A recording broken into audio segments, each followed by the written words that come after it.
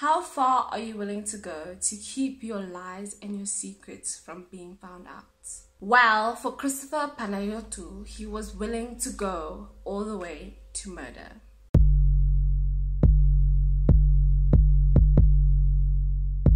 Hi everyone and welcome. My name is Rotondwa Thomoli, self-proclaimed Mukororo Lavenda. Thank you all so much for tuning in. If you're new, I like to do stories about true crime and all these mysteries and crazy stories that I find on the internet. And if you're really into that type of stuff, then please subscribe and join the family. Now, let's get right into the story of Christopher Panayiotou. So, Christopher Panayiotou was born in 1987. There's actually not a lot about his childhood. There's nothing really about his childhood. All that's really known is that he was born in 1987. He was a businessman. He actually owned uh, OK Food. So in 2004, he met a young woman by the name of Jade. So Jade worked as a grade 7 teacher in Riebeeck Girls College and she was known to be amazing at her job and she cared a lot about her students and she, they say that she had a very big heart and she was able to be a mentor and a helper to all her students and she was just all around a great woman and everyone just loved her and her spirit and they actually met through friends fell in love they were actually together for eight years until they finally got married in June of 2013. After getting married, they moved into a complex in Port Elizabeth called Lovemore Park. This was when I'm thinking is when Jade started to notice that something wasn't exactly right with her marriage. So Jade started to notice that Christopher wasn't paying a lot of attention to her. He was spending a lot of time out of the house, you know. And of course, like any other woman or person, you don't want to just give up on your relationship or your marriage. You want to fight and make it work, of course. Now, on the other hand, while she was trying to make her relationship work and her marriage work, Christopher was actually having an affair with one of his uh, employees. She was hired as a manager and her name was Chanel Coetzee. Now, their affair actually started before him and Jade actually got married. He was having an affair with this woman, and the affair lasted three years, which was all through their marriage included because they had only been married for two years at the time of this whole investigation unraveling. So Jade would actually confide in her best friend and co-worker. She would explain to her how she has tried everything and how their relationship is strained because they don't spend any time together. She explained that she would wake up in the morning uh, to go to work, obviously, and he would still be asleep because of coming back a lot later than she did. And when she would come home, obviously he wouldn't be there because he would be at work himself.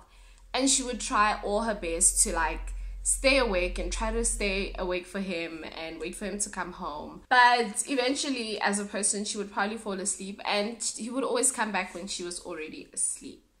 And during the weekends, when she would try, obviously hoping that maybe the weekends they'd be able to spend time together, he would claim that he had to go to work. So he would go and say that he was going to work during the weekend as well.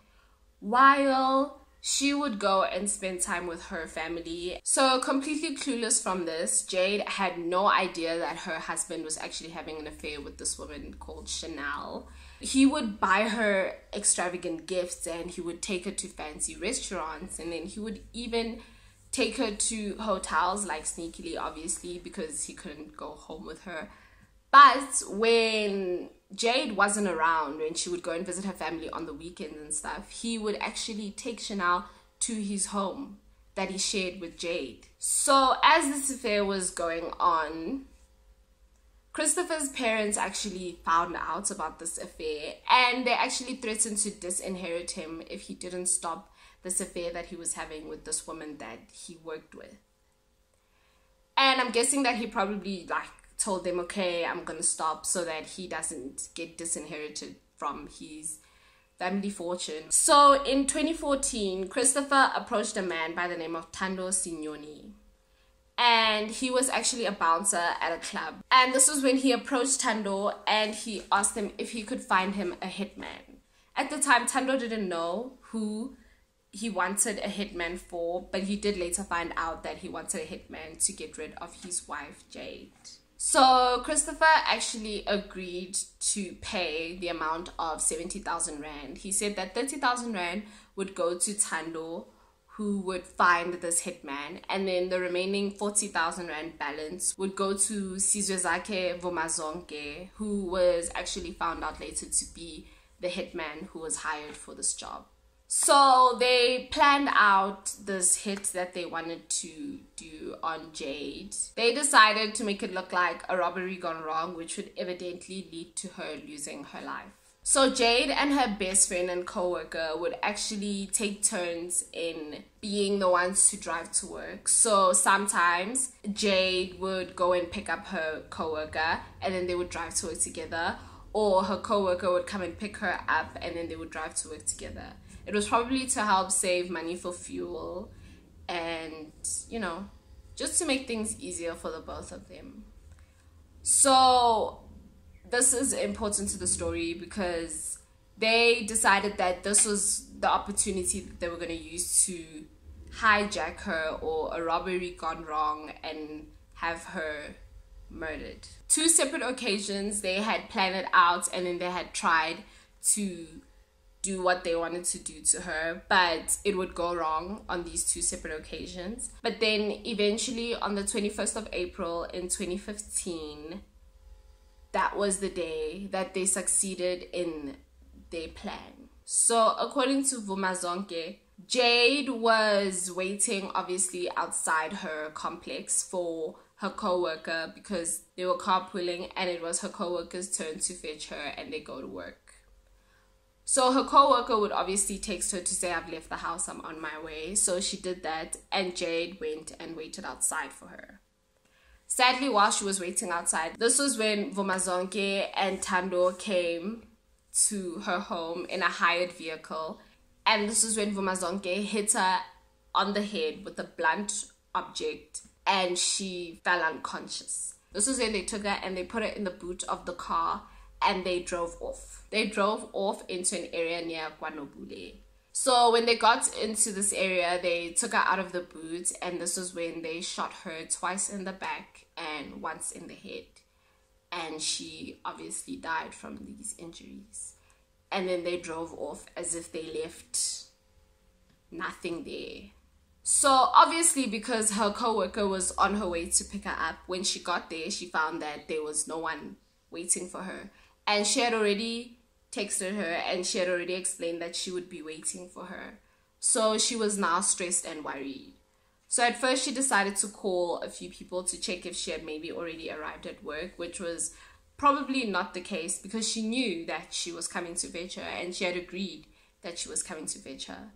This was when she decided to contact Christopher, who was obviously still inside the house asleep.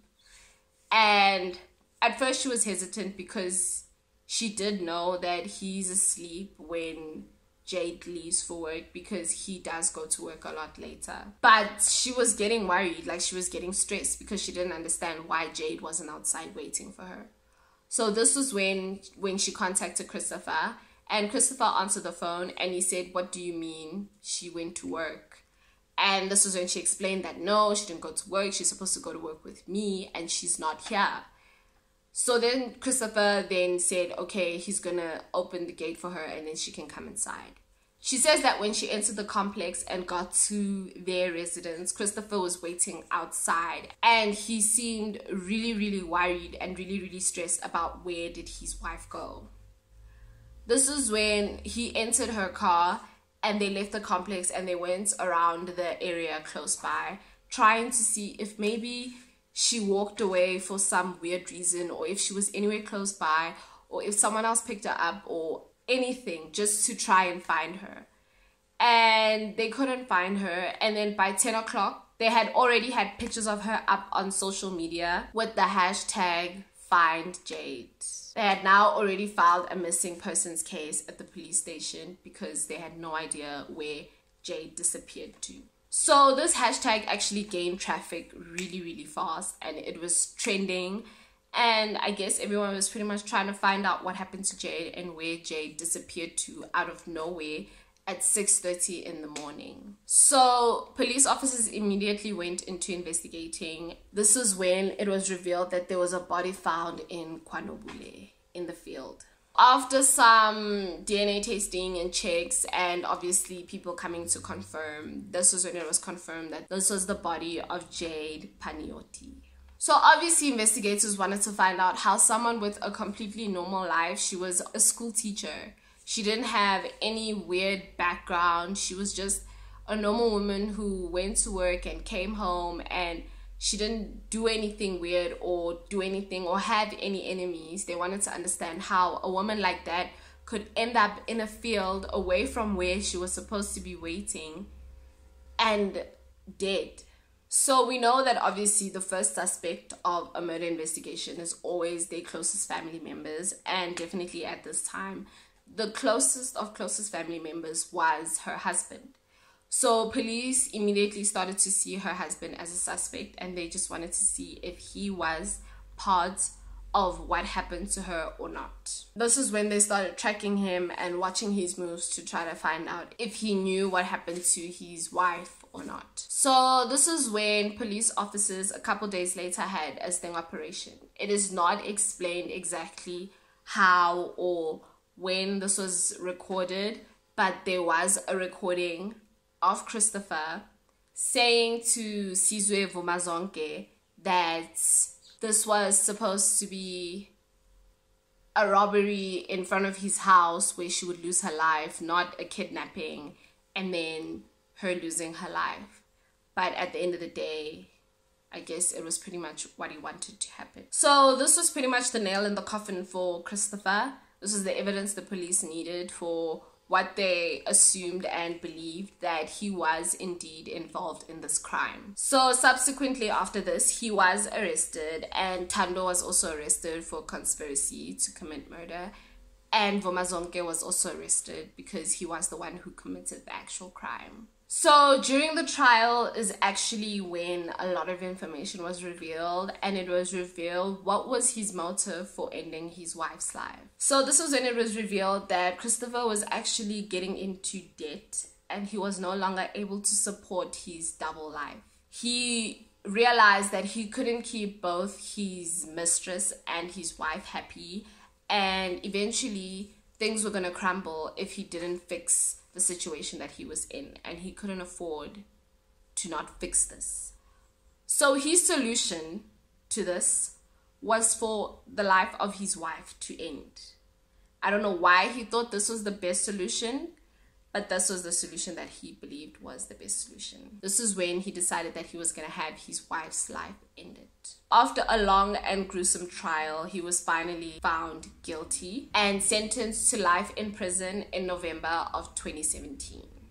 Obviously, Jade's family were really happy and really relieved to find that they finally found justice and this crazy case of their daughter just disappearing out of nowhere was finally solved, you know, after two years of trials. Christopher's family do not believe that he committed this murder. They believe that it's conspiracies and it couldn't have been him.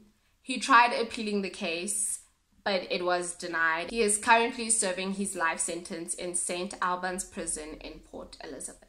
And that is the case of Christopher Panayiotou and how he decided that the best way to get away from his lies and his secrets was to end the life of his innocent wife. I don't understand why he felt like that was the best decision because if he was having this affair before he even married Jade, why did he marry her in the first place?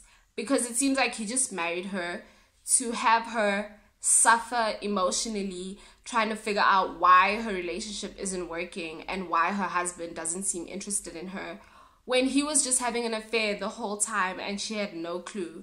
And to this day, we don't know if if she found out that he was the one behind everything or if she found out that he was having an affair. We're never gonna know because she's no longer on this earth to tell us. And he was selfish enough to decide that for his own selfish gain, he wanted to end someone who was completely innocent's life. Which was the worst way possible to leave this earth. He had no rights over her life. He should have just ended his relationship with her if he felt that she was not who he wanted to be with. But that is it. And yeah, I feel really bad for her because she didn't deserve to end like that, especially seeing as what people were saying that she was such a free spirit and such a happy person. She deserved to live a happy life and she died so young. She was only 27 or 28 years old at the time and she didn't she didn't deserve to leave this earth at the hands of her husband's selfish gains. But luckily, he didn't even get anything that he wanted because he ended up in prison. So he lost both women and he lost the inheritance that he was probably trying to protect by ending her life. And yeah, now he's in prison and I hope he's suffering. I really hope that you guys enjoyed this video. But thank you guys so much for watching. Please don't forget to like, subscribe, and turn on your post notifications so you know when I post. But thank you guys so much for watching. Bye.